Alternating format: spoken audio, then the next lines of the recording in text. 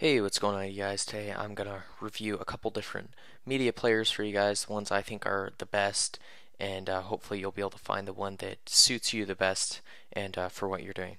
So first, when you get your Mac, you will come with, I mean, it will come with QuickTime Media Player, which is pretty good. Uh, the the quality of it, of the video that it puts out, is pretty good. Um, uh, not too nothing too amazing, but it's still pretty good. Um, the only problem with QuickTime, it's great, but the only problem with it is it doesn't play a whole bunch of different file formats, and I'm sure a lot of you guys have probably run into that. And um, so, two different alternatives for that.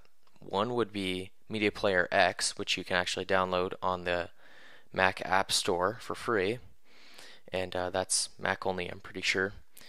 Definitely on the App Store it is, obviously, Um, but anyway, that's good.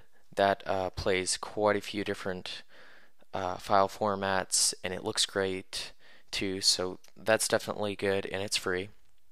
And then the other one, which is the one I use the most because I do a lot of excuse me, a lot of video work, and so I have to work around a bunch of different file formats. And so the one I use is VLC right here, and uh, it it plays just about anything. You can put at literally anything, any file format you put at it, it will play.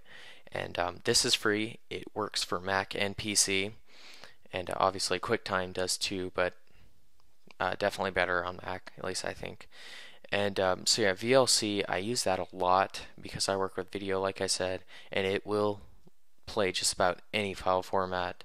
And um, so yeah, it's it's great. It's probably one of the best, and all of these are free obviously. But uh, anyway, guys, that's uh, what I think are probably the best media players out there.